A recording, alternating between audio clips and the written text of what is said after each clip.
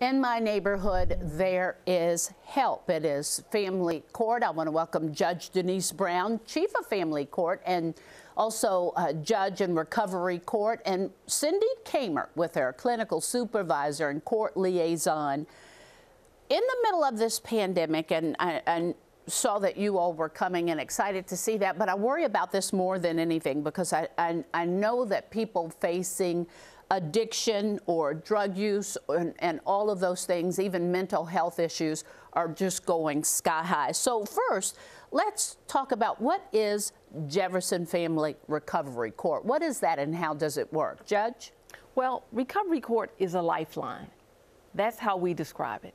It's a lifeline for families that are in darkness, that have been plagued by uh, addiction and substance abuse issues.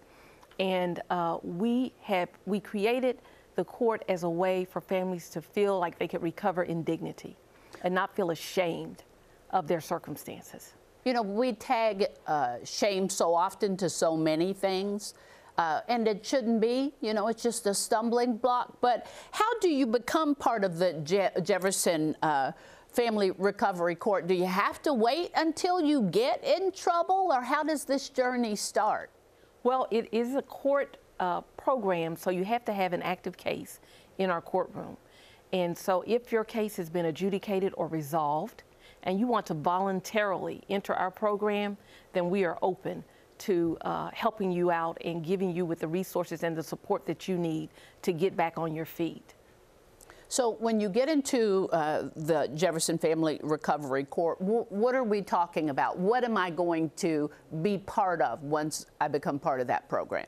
Well, you become part of a family of uh, judges, support workers, case support workers, uh, seven counties, and many of our partners, Volunteers of America, you and, and the cabinet and their social workers. You become a member of the family that we are uh, dedicated to supporting and helping you get through this situation. Oftentimes, people that have that suffer with substance uh, abuse issues, uh, it's been a long time since they've had the opportunity to have what many of us would consider to be a normal life where they're making regular decisions about themselves and about them fa their families.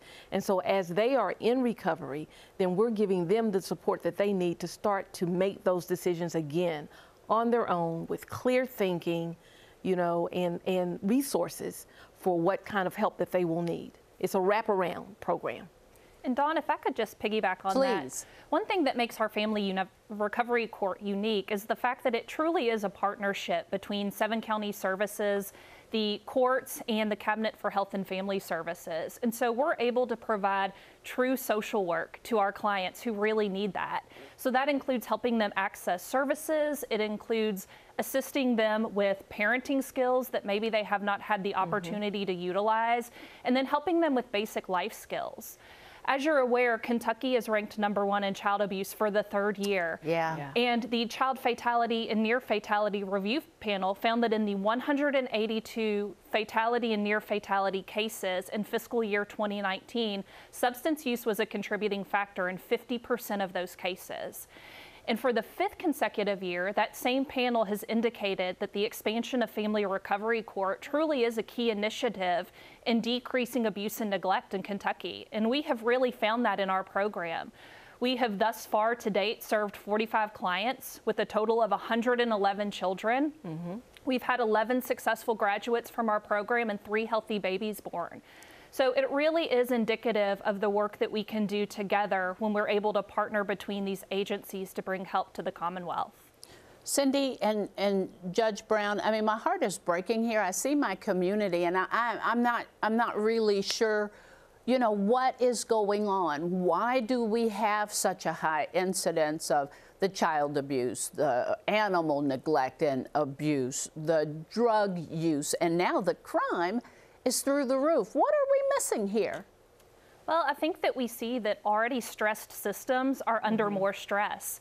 And so being sure that we can access those services that help address that is vital. So whether that's mental health services or substance use services or just community supports, those are all really important aspects of living a happy and healthy life. And so Seven Counties Services is really grateful to be able to partner with Family Recovery Court to mm-hmm. provide those services to families. And we have to not be afraid to Right. say, excuse me, I need help. And, Yes. and it's got to be going up because I generally don't get too stressed out. First time in my life ever, I have been stressed to the hilt over the last year or so. And I'm telling myself, okay, now you, you need to figure out a way to just ease back down. So let's talk about how do you get into this program?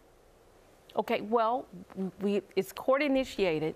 So if you have an active case on our dependency, neglect, or abuse docket, you can volunteer to be in this program. Will You're not someone ask you though? Will they Yes. ask you or? Absolutely. Okay. Absolutely. Each of our uh, family court judges are aware of all of the programs and resources that are available, and they identify individuals who are able to participate in the program, should they choose that, and also the parent attorneys, guardian ad litems, anyone that's in the system, the caseworkers, CPS workers, anyone can refer a person to participate in the program. And we've even had folks directly contact us and say, I do have that case uh, in, a, in a courtroom.